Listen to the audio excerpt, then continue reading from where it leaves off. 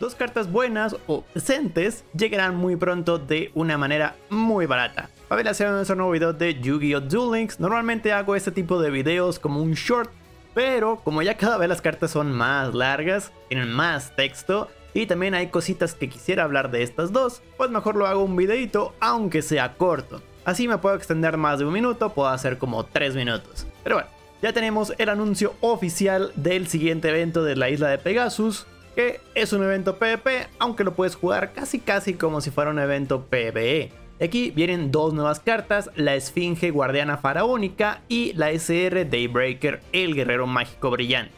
Vamos a empezar a ver la UR, monstruo de dos sacrificios, nivel 8, 2300, 3000 de defensa.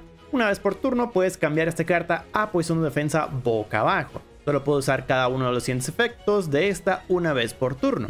Esta carta es invocada por volteo, baraja al deck todos los monstruos que controle tu adversario. Uf, papo. Muy buen efecto. Lo malo es que es un poco difícil hacerlo, pero bueno. Si esta carta controlada por su dueño es destruida por una carta del adversario, puedes invocar de modo especial desde tu deck o mano un monstruo de roca de nivel 5 en posición de defensa boca abajo.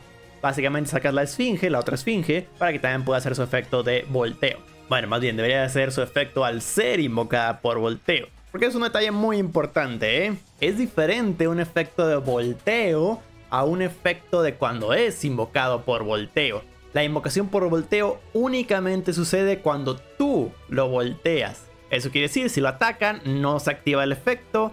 O si se voltea por efecto de carta, tampoco se activa el efecto. Haciéndola que sí o sí tengas que esperarte hasta tu turno para poder activar este efecto de regresar todos los monstruos del adversario imposible que se convierta en un efecto para turno oponente. Imposible que sea una respuesta. Así que únicamente queda con una carta decente. Pero bueno, algo que quería mencionar de esta es que esta estaba dentro de las filtraciones de cartas que habían sido cambiadas, es decir, de cartas que esperábamos que saliera durante este siguiente mes. Una de las tantas. Así que ya empiezan a salir un poquito. Esperemos que pronto también nos den las noticias del siguiente mes. Yo rezo porque sea mañana ya. Pero conociendo a Konami seguramente será hasta por ahí del martes.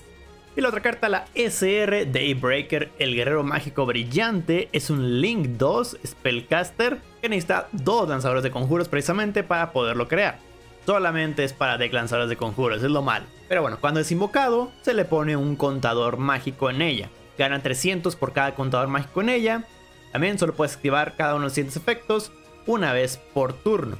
Si uno o más monstruos lanzadores de conjuros son invocados de modo especial a una o más zonas a las que apunte esta carta, con un contador mágico en ella. Y el otro efecto es que podemos retirar dos contadores mágicos de esta carta para seleccionar una carta en el campo y destruirla.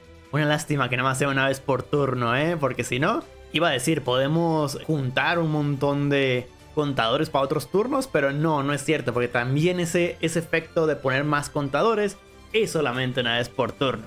Chincheras Konami. Aquí tenías un muy buen mono para cualquier deck lanzador de conjuros. Pero sí, aunque el destructor hubiera sido nada más una vez por turno, de todas maneras hubieras podido pues acumular contadores para poderlo usar en un deck de contadores precisamente.